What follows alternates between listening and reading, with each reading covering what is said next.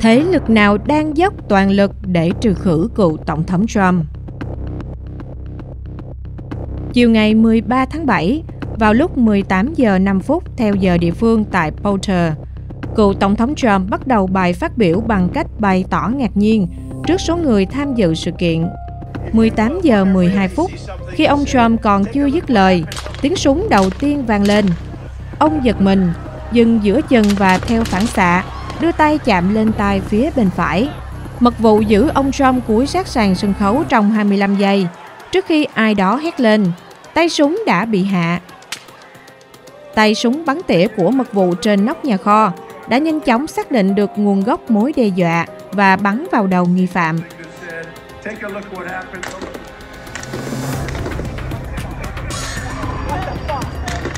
Một mật vụ ra lệnh cho cả nhóm nhanh chóng đưa ông Trump đến nơi an toàn, trong khi đám đông tiếp tục la hét.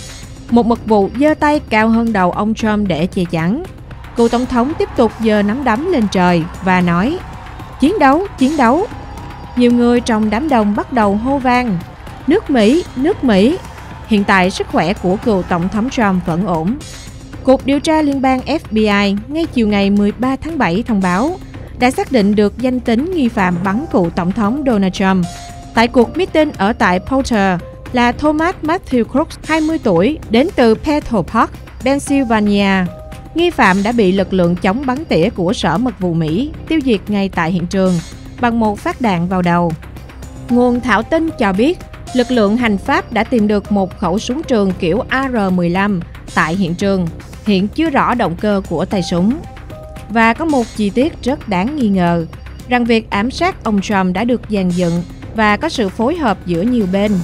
Đó chính là nghi phạm Thomas Matthew Crooks leo lên mái nhà cách nơi cựu Tổng thống Trump đứng phát biểu chỉ có vỏn vẹn 120 mét, nhưng các mật vụ lẽ nào không thấy. Thậm chí một nhân chứng sống ở hạt Porter trước đó kể rằng Tôi đã thấy một người mang súng trường leo lên mái nhà. Ông Trump đã bắt đầu diễn văn, có lẽ là được khoảng 5-7 phút. Và trong lúc ông ấy đang nói thì tôi thấy có một người bò lên nóc tòa nhà này, ngay phía đằng kia kìa. Anh có thể nhìn thấy mái nhà trắng phía sau những tán cây phía kia và tôi đã đứng đó chỉ vào người trên mái nhà trong vòng 2-3 phút cho đặc vụ. Đặc vụ ở trên mái một nhà kho và luôn nhìn chúng tôi. Tôi đứng ở đó chỉ vào người trên mái nhà và tự hỏi tại sao Trump vẫn đứng đó bởi vì có một gã đang leo lên mái nhà với một khẩu súng trường và cảnh sát thì cứ chạy quanh tòa nhà như một đám ngốc không biết chuyện gì đang xảy ra Yeah, look, there he is. Because we have millions and millions of people in our country that shouldn't be here. Dangerous people. Criminals. We have criminals. We have drug. We have people that Right should here, not be here. right on the roof. It's much He's tougher than it, it happens. He went right on the roof. Những hình ảnh kinh ngạc mô tả ông Donald Trump giơ nắm đấm đầy thách thức lên trời khi máu vẫn đang chảy trên mặt, không chỉ ghi dấu vào lịch sử mà còn có thể thay đổi diễn biến của cuộc bầu cử tổng thống vào tháng 11 sắp tới. Nhìn lại lịch sử, năm 1984, sau khi sống sót sau một vụ ám sát, Tổng thống Ronald Reagan đã giành chiến thắng vang dội trong cuộc bầu cử tổng thống, đảm bảo nhiệm kỳ thứ hai. Về phần mình, cựu tổng thống Trump sau khi đã an toàn, ông cho hay do ông đã quay đầu lại để xem số liệu thống kê về nhập cư bất hợp pháp trên màn hình lớn tại cuộc biểu tình của mình nên mới thoát nạn. Ông nói, biểu đồ mà tôi đang xem đã cứu mạng tôi. Sự việc này làm cả thế giới chấn động và phát hiện rằng trước đó có rất nhiều các chi tiết dường như đã cảnh báo trước về sự việc cựu Tổng thống Trump sẽ bị sát hại. Một trong số đó chính là bộ bài Illuminati mà Tinh Hoa TV đã từng đề cập trước đây rất lâu. Thế lực ngầm nào đang giật dây phía sau? Trước tiên chúng ta nói nhanh một chút Illuminati là gì? Để quý khán thính giả có thể nắm một chút thông tin. Illuminati là tổ chức tôn thờ quỷ Satan, rất thông thạo các quy tắc chính trị cổ xưa và có thể đã lên kế hoạch cho nhiều vụ ám sát gây chấn động nhân loại như cựu Tổng thống John Kennedy. Nhiều người đang lo lắng rằng thời điểm hiện tại chúng đang tìm cách ám sát Tổng thống Trump, người đang vạch trần chúng từ năm 2016.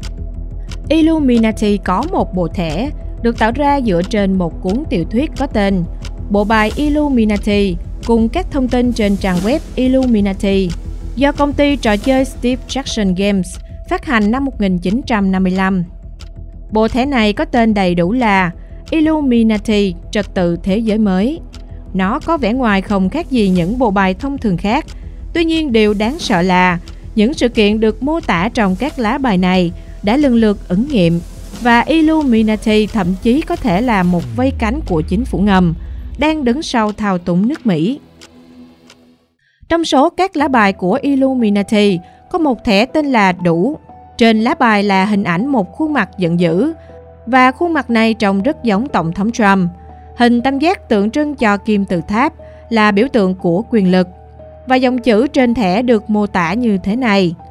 Mọi lúc, mọi nơi, lính bắn tỉa của chúng ta đều có thể tìm thấy ngươi. Hy vọng ngươi có một ngày tốt lành. Một số người cho rằng điều này là ngụ ý rằng Tổng thống Trump sẽ bị ám sát.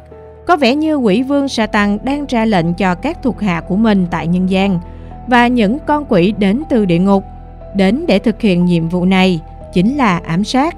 Hơn nữa tên của lá bài này là đủ. Dường như ma quỷ đang cảnh báo Trump không nên trút cạn đầm lầy, đừng gây thù chuốc oán với họ mà nên dừng lại đúng chừng mực, nếu không ông có thể gặp xui xẻo với lá bài này. Và sự việc chiều ngày 13 tháng 7 khi cựu tổng thống Trump bị ám sát hụt đã làm người ta không khỏi giật mình khi nhìn lại lá bài này và các tình tiết kể trên. Vì sao chính phủ ngầm lại muốn tiêu diệt cựu tổng thống Trump? Trước hết, Illuminati chính là muốn thống trị nhân loại, phá vỡ trật tự của thế giới hiện tại để thiết lập cái mà họ gọi là trật tự thế giới mới. Đó là một thế giới phản thần. Được thành lập năm 1776, Illuminati là một tổ chức bí ẩn cổ xưa, đã và đang bí mật kiểm soát loài người. Hiện nó đã trở thành một tổ chức của giới tinh Anh. Các lá bài giới thiệu việc Illuminati thâm nhập và kiểm soát các tổ chức khác nhau. Họ kiểm soát trường học và khiến giới trẻ bắt đầu đánh giá cao các dòng âm nhạc tệ hại, những trò kỳ quặc và ưa chuộng phong cách ăn mặc quái dị.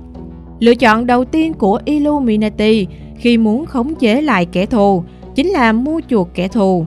Nếu mua chuộc không được, họ sẽ tìm cách e dọa, khiến cho tài sản, chức vụ hoặc người thân của kẻ thù rơi vào tình thế nguy hiểm.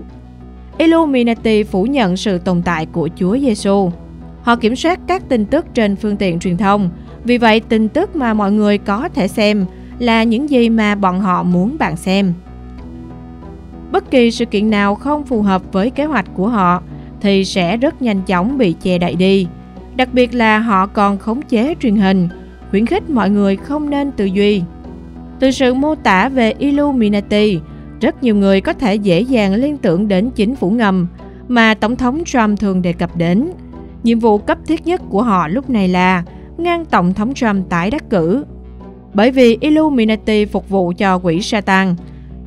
Nhìn bề ngoài Hoa Kỳ là chuẩn mực của tự do và dân chủ, và trước kia đúng là như vậy. Nhưng sau bao nhiêu năm hoạt động của các thế lực ngầm, bây giờ chuẩn mực đó đã hoàn toàn mục nát và chính phủ ngầm do Illuminati đứng đầu sắp chiến thắng. Tuy nhiên, sự đắc cử bất ngờ của cựu Tổng thống Trump năm 2016 đã phá vỡ kế hoạch của chúng. Thứ hai, cựu Tổng thống Trump không chỉ làm rối loạn kế hoạch của chúng, mà còn thề sẽ rút cạn đầm lầy ở Washington. Dưới sự nỗ lực của cựu Tổng thống Trump, Hoa Kỳ đang dần quay trở lại với truyền thống và sự kính ngưỡng đối với các vị thần. Đây là điều mà Illuminati không thể chịu đựng được.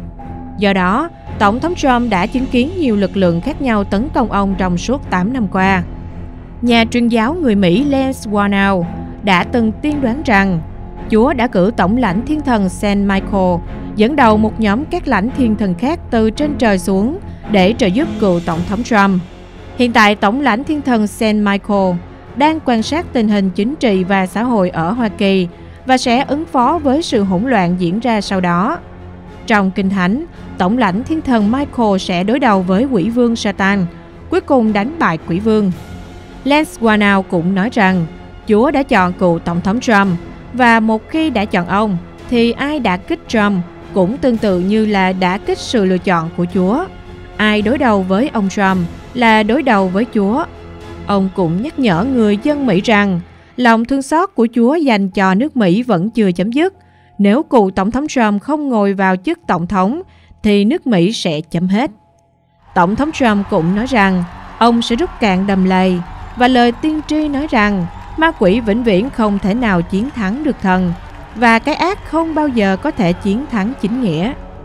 Quá trình này có thể rất quanh co và kết cục nhất định là hoàn mỹ. Nhiều người kêu gọi tất cả hãy tiếp tục cầu nguyện, hy vọng rằng người dân Mỹ sẽ không chọn nhầm người. Ông trời đã cho nước Mỹ và người dân Mỹ rất nhiều cơ hội và đừng bao giờ chọn sai.